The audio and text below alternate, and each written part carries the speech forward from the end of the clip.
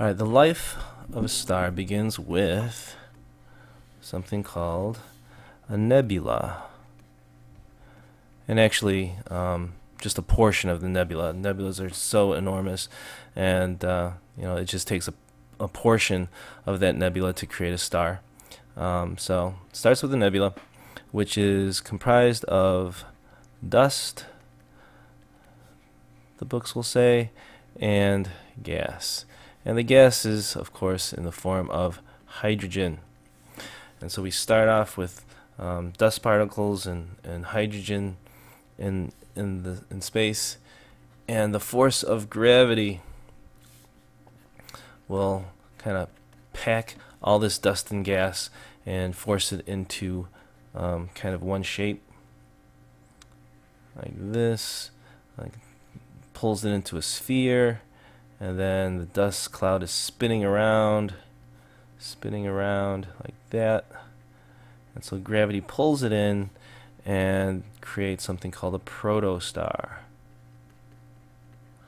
And the protostar because of its its rotation and its its um, and its pull of gravity um, crashes those hydrogen uh, molecules hydrogen atoms. And it's hot enough where the hydrogen will fuse into helium and form a new element. And this is the process of nuclear fusion. And nuclear fusion is the thing that gives a star all of its energy. And from that nuclear fusion and that energy that it gives off, we get to a star. And this stage would be called the main sequence of the star. It's the current stage that our own sun is in. The main sequence. And um, in class, I equate it kind of to the adulthood of the star, where, you know, it, we spend most of our life a, as an adult, and so um, a star spends most of its life in the main sequence. Okay, so we have the main sequence, and after billions and billions of years, we start to start to run out of hydrogen. Okay, we've been burning it up for burning for billions of years, and we're starting to run out. And what's happening here, change colors. What's happening here is that all the hydrogen is converting into helium, and the helium is creating is is, is going into the core of it, and um, the hydrogen gases are expanding out. And you end up having the expansion of the gases and the gases cooling down or the star itself cooling down and you end up with a red giant. Red giant. And it's red because it's cooler Alright, so it expands, it cools off, and it changes color. And if you, you remember from um, the colors of the spectrum, you have red on one side, and you'll find blue on the opposite side of the spectrum. And you know the red, the red um, waves are slower, less energy, and the blue waves have a lot of energy. So you can think of it like that. And the blue star with you know the the high energy waves is going to be much hotter, and the the red star with slow waves is going to be cool. Okay. All right. So moving on. So we get to the point here where um, we've got a red giant, and we're you know we've pretty much used we're using up all the hydrogen and it's getting really hot in this core. And so now we're using the helium to do fusion to nu do nuclear fusion. And the helium is combining and fusing and they're making carbon. And so we've gone from hydrogen to helium and now we're fusing helium to create carbon. And so to continue we have we're, basically running out of fuel, right? We're burning up all the hydrogen, that's all gone, basically. And then after a time, we're gonna burn up all the helium, and so you end up with all these gases and gravity reducing and all these gases escaping.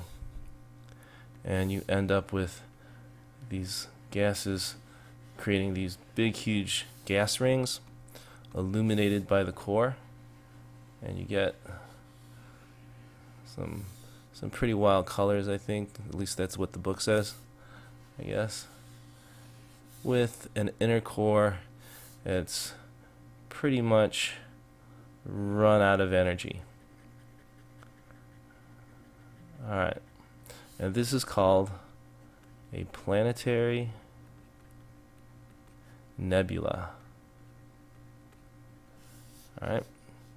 And then the last step, we go from the planetary nebula to the point where these gases are gone and you you end up with this this dead core. Right? This leftover shell of what what the star used to be. And so gravity pulls it in and it, it, it starts to get stable again because of all the electrons inside there and it kind of um, I don't know it, it, the electrons create a core for itself so that the gravity doesn't just completely implode the star. And you end up with something called a white dwarf. And a white dwarf's pretty pretty weird. It could you know if, if this was it could be the size of earth but at the same time it'll be like 3000 times the mass of earth. And so you get crazy amounts of, of gravity with this with this white dwarf. And it'll it'll stay a white dwarf I think almost indefinitely um, because it's it's such a uh, in a stable state where it doesn't need any nuclear fusion it doesn't need any fuel to exist. All right, so that is the life cycle of a low mass star. So to review, we start out with a nebula and goes to a protostar where we have this thing called nuclear fusion begin and it creates the main stage of the star which is the main sequence and then uh, it starts to burn up its hydrogen, the gases expand, we end up with a red giant, which is cooler. Uh, the helium starts to create carbon, and the gases continue to float away. We end up with something called a planetary nebula, and what's left over is this thing called a white dwarf. Okay, so that's a life cycle of a low mass star. Hope to see you on the next one about high mass stars.